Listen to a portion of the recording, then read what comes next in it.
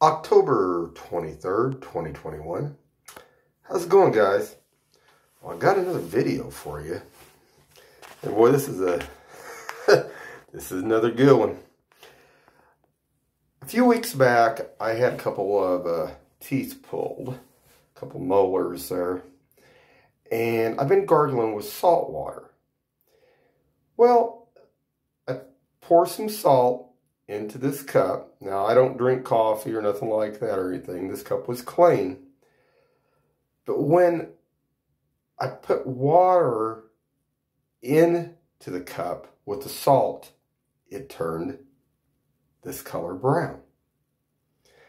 Now, what can cause that? Well, that's a good question. I mean, there's several things. I did some research. Uh, gamma radiation can uh, turn salt brown um, iron uh, in the lines, some kind of mineral contaminants in the line can cause it.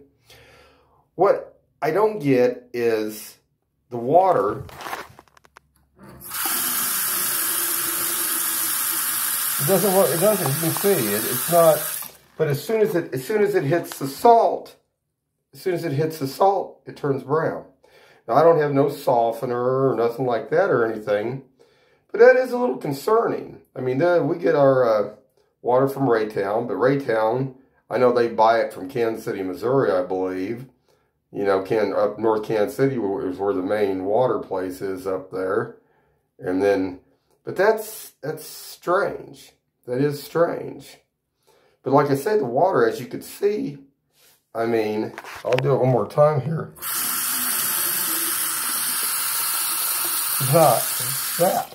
I don't know. I don't get it, but whatever it did, the salt caused a chemical reaction, something that was in the water. So, just a heads up, guys. And uh, keep your eyes open. Have a good one.